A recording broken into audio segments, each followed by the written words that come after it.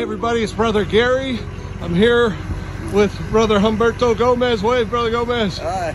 And uh, it's five o'clock in the morning and we've got God's Word loaded. I don't know if you can see it, but we'll show you later today.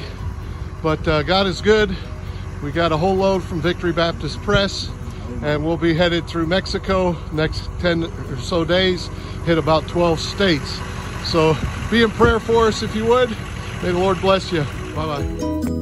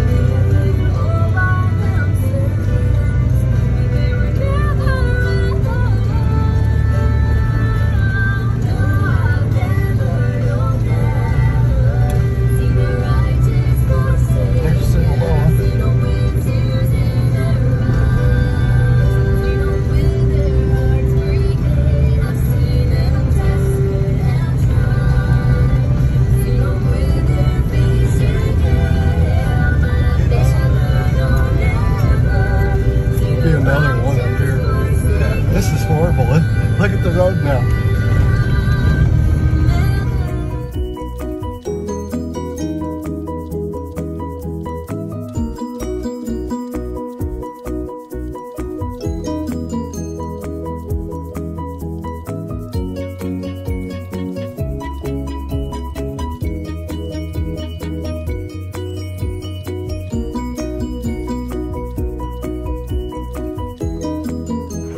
Everybody, it's Brother Gary, and uh, we are in Sinaloa, Mexico. We are right outside of uh, Culiacan, Sinaloa.